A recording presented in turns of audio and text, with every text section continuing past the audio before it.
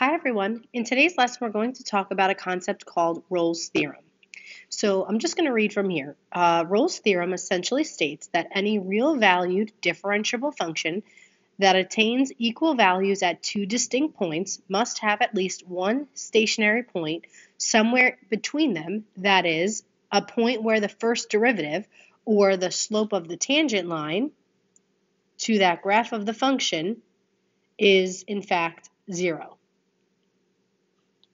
So, in other words, I know that was a mouthful. Um, in other words, if you've got two stationary points, A and B, there are two points that have the same Y values, such that there will be a C value in the middle where the slope of the tangent line will be equal to zero. Remember, that's called a critical value, right? A critical value is where the derivative is equal to zero or my slope of my tangent line is horizontal. So what am I going to ask you to do? So for each problem, find the value of C that satisfies Rolle's theorem. So basically what I'm asking you to do is I'm asking you to find the value for C here that's in the middle where my tangent line is zero. So you're given two points of an interval, A and B, so this point is negative 2 and 0. So let's see if we can do this graphically. So when x is negative 2, right, these are x values of your interval.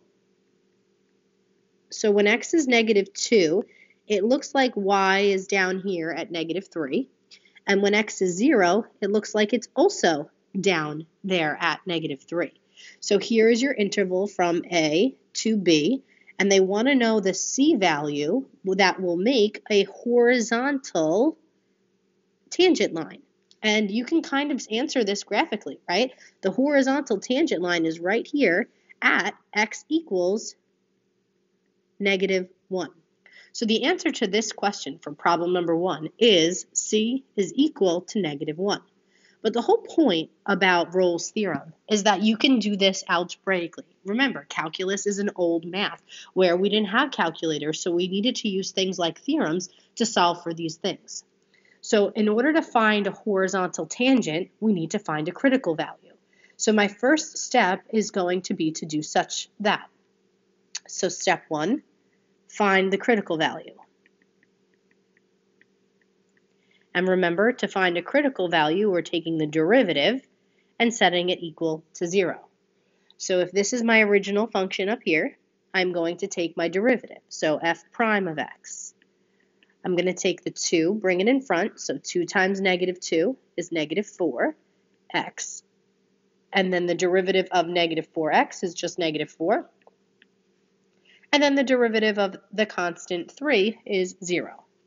So to find the critical value, I have to set the derivative, f prime, equal to 0, and solve. So I'm going to factor out a negative 4.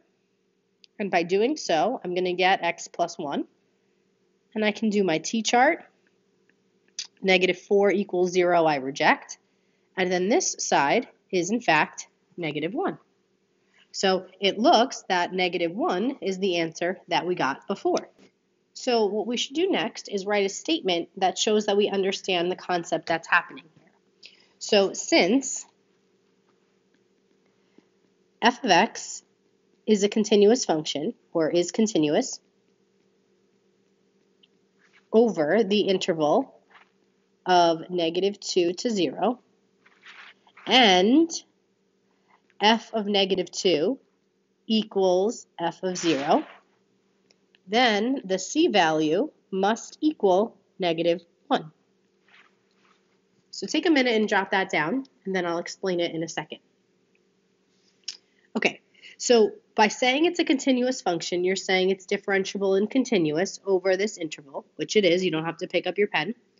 And f of negative 2 equals f of 0. f of negative 2 is negative 3, and f of 0 is 3, negative 3. So see, these are your two stationary points. So by writing this, you're telling me that these are my stationary points and that there exists a horizontal tangent right here at the x value of negative 1.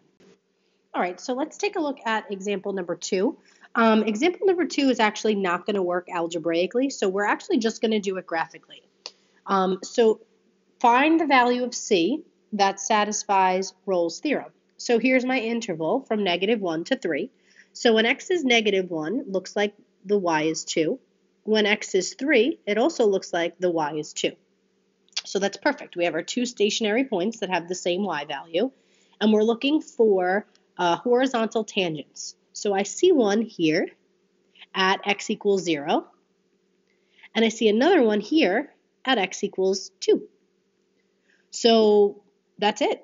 That, that works for Rolle's theorem. So the c values are going to be 0 and 2. Again, this one doesn't work algebraically. I, I wouldn't give you one um, like this on the test unless I said, you know, it doesn't work that way. Uh, so don't stress about that. All right, just for purposes of time, I think we're going to skip 3 and 4, and we're going to move on to examples 5 and 6. So the question says, explain why Rolle's theorem does not actually apply in the cases below. So in order to use Rolle's theorem, we need to have a differentiable continuous function. And number five is called a rational function. And rational functions, meaning fractions, have holes and vertical asymptotes. And things of those nature will actually make the function discontinuous, and then therefore the theorem doesn't apply. So if I got a question like this, that's a fraction, first thing we need to check for holes or horizontal asymptotes. Excuse me, vertical. Holes or vertical asymptotes. Those are actually going to be the values where the function is not continuous. So the way that we do that is we factor. So we factor the top and we factor the bottom.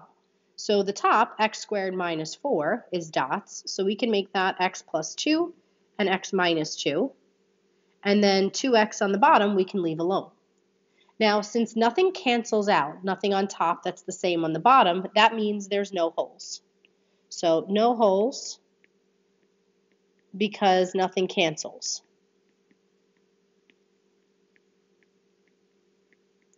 So then what you're left with is trying to find any vertical asymptotes. And the way that you find those is by setting the denominator equal to 0. So to find a VA, a vertical asymptote, you're going to set the denominator 2x equal to 0 and solve. Divide by 2, so we get x is equal to 0. So what you just found is this. So since there is a vertical asymptote at x equals 0, the function is not continuous,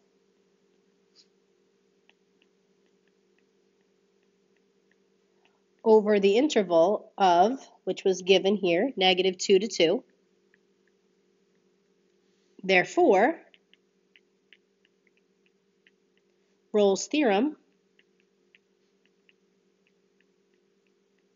will not apply.